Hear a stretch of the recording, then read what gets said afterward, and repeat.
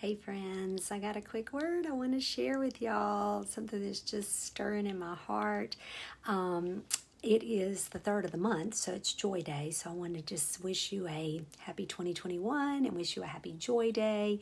Um, but I wanted to share this with you. So it's the beginning of the year, and it is a crisp winter day outside.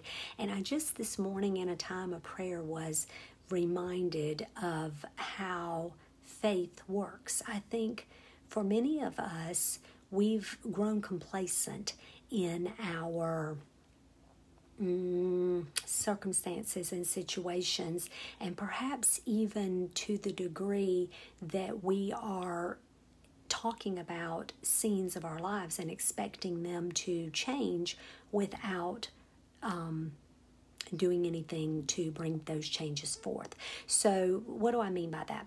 it's the beginning of the year. A lot of people start new, like weight loss programs or exercise programs or things. So let's just take a treadmill, for example. So we know that it is very important when we do any kind of exercise program or any kind of weight loss program, it's very important that we have balance. You got to have balance. And a lot of times you'll hear people say, you know, I'm doing legs, I'm doing abs, I'm doing arms, I'm working on this, whatever.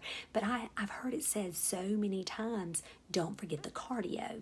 Like the cardio is really, really big part. And I have a lot of friends who are in the medical field and stuff. And so, um, I think they will all agree that the cardio is a huge part of the workout. Well, do you know that your spirit man is the mirror image of your physical body? And so, if you're going to work your spirit man, work out your spirit man to grow in your faith, you have to remember that same thing and ask yourself and remind yourself of that same thing. Don't forget the cardio. Now, what do I mean by that? How what do I what am I saying with that? Well, imagine yourself on a treadmill.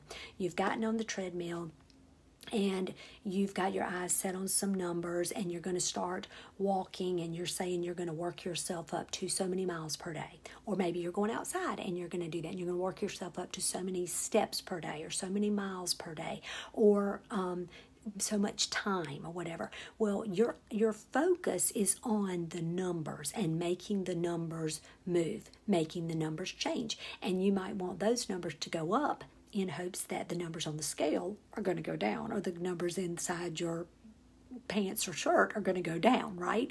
But we're focused on the numbers and making them move, and we're actually doing something. We're moving something in order to cause something else to change. So I want to remind us of what Hebrews 11 1 says, and that is that faith is the evidence of the substance of things hoped for. Faith is the substance of things hoped for and the evidence of things not seen. So we that's how our faith works. It calls those things that are not as though they already are. So whatever the scene is in your life right now, think about it. That that's what our faith is going to do. When we work our faith, we develop our faith, but you got to work it. Nothing's ever going to change. The scenery of your life is never going to change as long as you keep speaking about the facts and saying out of your mouth what you see, what you see, what you see because those things are mountains that are in your life and your your life might be covered in this your all the scenery all around you right now might be mountainous and there might be a mountain in your view everywhere you look everywhere you are but the way that those mountains are going to be moved is by us using our faith and speaking to them. The way your clothing size is going to go down or your weight on the scale is going to go down is by you moving. Faith is an action word. See, believe is a verb. Y'all know me, I'm a grammar girl.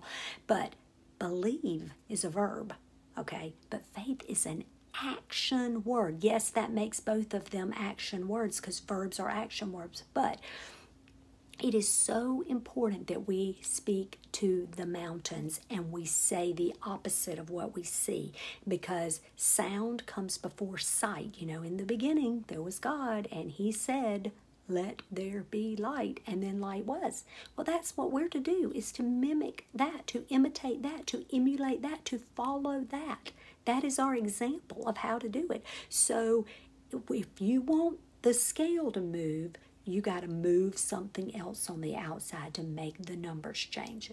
any of that stuff. We know that. We know that's how it works. But guess what? For our spirit man, faith is what causes the scenery. Faith is what causes the mountains to move. Faith is what causes, by using the word and saying what the word says and not saying what we hear, not saying what it looks like or seems like or sounds like or feels like. We don't need to be agreeing with all of those things and agreeing with the world. We need to be agreeing with what the word says and saying, well, it is written this, the word says this, that's what I say over that circumstance. That's what I say about that situation, and not those things that we're seeing. Okay, so I want to remind you today with your spirit man, don't forget the cardio.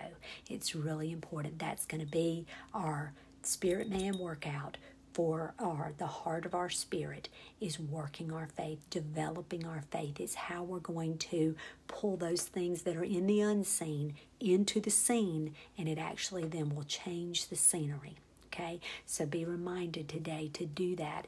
And I want you all to know that you are greatly loved. I want you to be encouraged today. And I want to thank you for taking the time to watch and listen to this quick word from the Lord. I pray that it will bless you today. And I want you all to remember to dwell and abide and know that you are loved. Bye.